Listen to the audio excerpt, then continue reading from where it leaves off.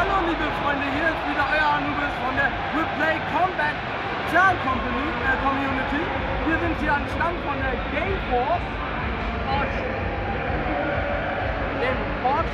Und wir äh, haben hier mit der netten Dame hier jetzt ein kleines Interview zu einem wahrscheinlich großen Rollenspiel-Highlight, das sich Riders nennt. Okay, dann mal die allererste Frage. Was ist denn überhaupt Riders eigentlich? Raiders ist ein Action-MMO, also das Multiplayer-Online-Spiel, das auf Action basiert. Das heißt, äh, man hat nicht dieses Übliche, was man im MMO hat. Man klickt irgendwas an und baut so lange drauf, bis es umfällt, oder man selber, sondern man hat sein Fadenkreuz und muss selber zielen, ähm, wenn man den Gegner besiegen möchte. Dazu kommt, dass man ähm, aktiv ausweichen muss. Wenn zum Beispiel unser erster Boss, auf den man äh, trifft, Matt Bellinus, ein großer Steinminotaur, der eine fiese Säule schwingt, Ja. äh, ankommt, dann muss man halt sich entsprechend ducken und wegrollen, sonst kriegt man ganz schön Rollen. Das hört sich ja schon mal gut an. Ähm, zum Gameplay her. Ähm, das, ist das mehr so wie das bekannte Gameplay von den Rollenspielen wie bei World of Warcraft? Oder ist das eben halt versucht, da versucht, etwas total Individuelles zu machen? Also zum einen unterscheidet sich das äh, Gameplay schon mal dadurch, dass man eben aktiv sein muss. Man muss auf Zack sein, man muss mit seinen Reflexen, seinen Reflexen vertrauen, um eben schon mal weniger Schaden zu fressen.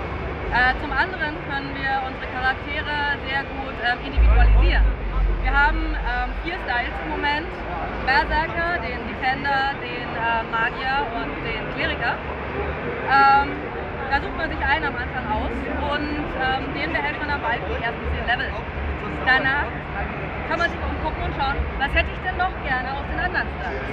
Unsere Skills sind nicht ähm, auf die äh, Styles, sozusagen auf den gewählten Style fixiert, sondern auf die Waffe. Wechsle ich die Waffe, habe ich Zugang zu anderen ähm, Skills. Die muss man natürlich auch mitleveln, während man spielt. Aber man kann sich zum Beispiel ein Schild und ein Schwert in die Hand nehmen. Dazu hat man Zugang zu den Magier-Skills sowie zu den Defender-Skills und kann sich sein Vollplatz-Tank der Feuerwelle aufbauen. Okay, das hört sich ja schon mal ziemlich gut an. Etwas, ja, würde ich sagen, was ich so in dem Sinne noch nicht wirklich gehört habe. Was äh, versprechen Sie sich denn für, für die Zukunft dieses Spiels weiter? Ähm, ist das jetzt ein Spiel, was einteilig oder einen zweiten Teil haben wird oder was nach und nach mit Addict, äh, also Erweiterungen herauskommen wird? Also es wird nach und nach mal wieder erweitert werden. Neue Monster, neue Gebiete, neue Styles, ähm, neue Rassen. Immer, also wir wollen auch auf die Community hören, das heißt, was wir an Feedback kriegen, schauen, was sich ersetzen lässt. Wir wollen das Spiel sozusagen mit euch auch wachsen lassen. Das hört sich ja auch wieder mal ziemlich interessant an.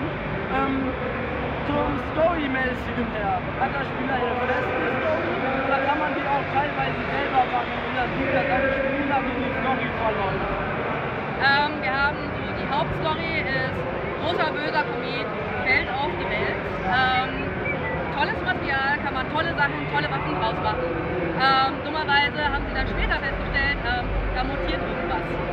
Dementsprechend die Monster verändern sich, werden stärker, ähm, müssen bekämpft werden. Das heißt, die Helden ziehen aus und versuchen wieder Kontrolle reinzukriegen. Ähm, durch, äh, während des Spiels ähm, trifft man verschiedene Fraktionen. Ähm, zum Beispiel den er die erste Entscheidung muss man treffen in Mount Eda. Da gibt es die Oga, die Trolle. Und da muss man sich dann überlegen, wer von den beiden ist mir sympathischer. Kann sich dann für eine Seite entscheiden, ähm, was dann das PvP beeinflusst, auf welcher Seite man spielt. Ähm, und auch die, so, so die Geschichte von einem leicht anderen Blickpunkt eventuell erleben lässt. Okay, das hört sich auch schon mal ziemlich faszinierend an. Ich habe schon ein paar Bilder jetzt gerade eben von dem Gameplay her und äh, von den grafischen. Es sieht also flüssig aus, grafisch sehr schön. Äh, wie lange haben Sie denn überhaupt an der Entwicklung dieses Spiels gearbeitet? Oh mein Gott, ich und zwei. Ähm, also ich arbeite jetzt an äh, Raiders seit zwei Monaten als Lead Community Manager. Ähm, in der Entwicklung ist es schon etwas länger, aber frag mich bitte jetzt nicht wie lang, die Zahl habe ich leider nicht Okay. Ja, dann würde ich mal sagen, das sind eigentlich so die Grundfragen, die wir schon mal alle eigentlich haben wollten. Wir haben viele Informationen über das Spiel äh, bekommen, die ziemlich hilfreich waren. Also Leute, wenn ihr da mit dem Spiel Raiders in Geschmack gekommen seid, holt euch die Bilder oder wartet bis das Release erschienen ist. Freut euch auf jeden Fall. Ich kann es eigentlich bis jetzt von den ersten Bildern her nur empfehlen. Ich sage dann Tschüss, danke, auf Wiedersehen.